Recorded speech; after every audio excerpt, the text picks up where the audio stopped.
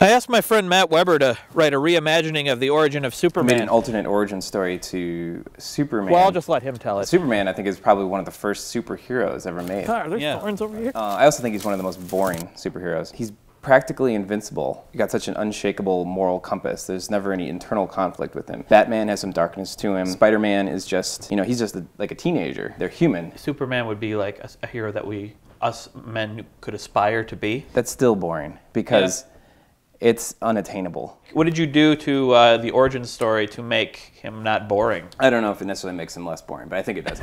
um, he was only found by humans, but Yeah. so I was thinking, well, what if he was found by wolves? Maybe you should uh, read the origin story then. Oh well, should I read it right now? Right now. Okay. Yeah. No one had seen a wolf in Lowell County in over 80 years. So, in a space capsule containing the last surviving inhabitant of a distant, dying alien world crashed there, no one would have expected that the first life forms it would meet wouldn't be the humans typical of the region. The wolves were recent arrivals as well, refugees from a series of wildfires in the mountains to the west. The small patch of woods where the capsule came down was a temporary retreat for the wolves, hemmed in on all sides by farmland, prefabricated developments, and the ubiquitous smell of human settlement. The alpha couple feared they might have to turn around and take their chances with the wildfires again. They had already lost a member of the pack.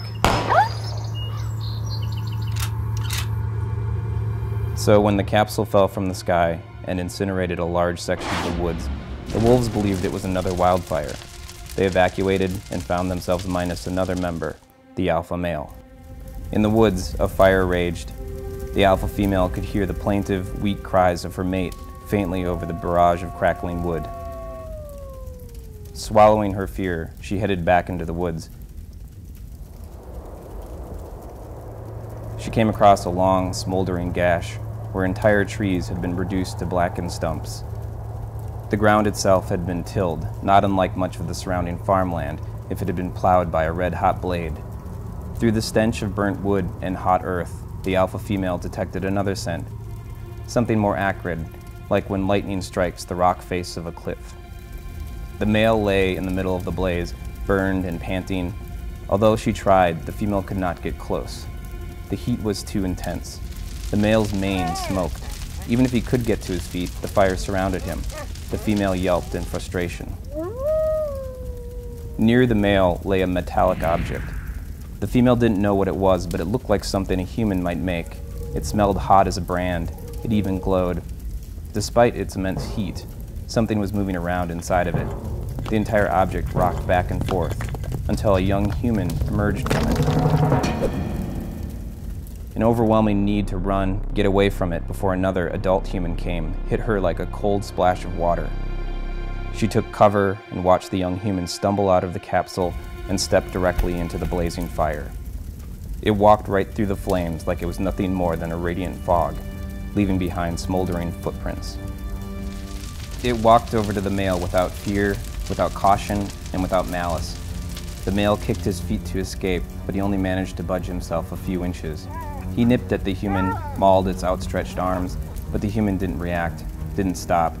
It gathered the male up in its arms and lifted him. The male was easily five times as large as this human, but it carried him like he was a mere pup. The male struggled, but the human held him tight. He howled for the pack. Then the human did something strange. It let out a long, high pitched howl, an exact imitation of the male, except several decibels louder. Its howl blew through the fire, uprooting the flames and extinguishing them. When it was finished, the fire was gone, and the woods were silent and dark again. Though the female kept low to the ground, the human found her, like it could see right through the shrubs she hid behind. It headed straight for her. The female bolted headfirst through the undergrowth.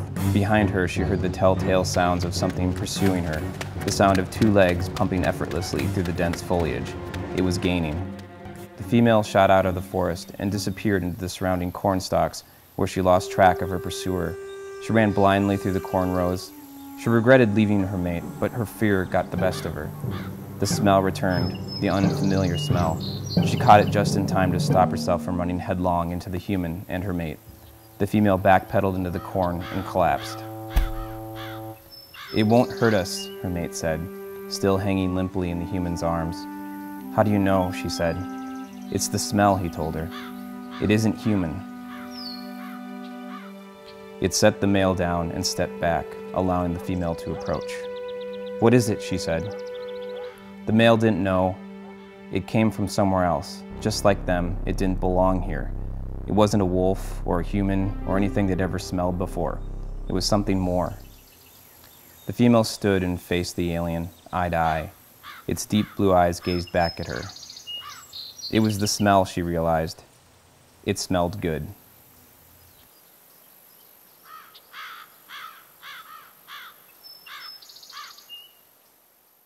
Well, thanks for writing this story, Matt. Thank you. I may ask you to write more in the future. I hope that's all right. That's okay. Okay, cool.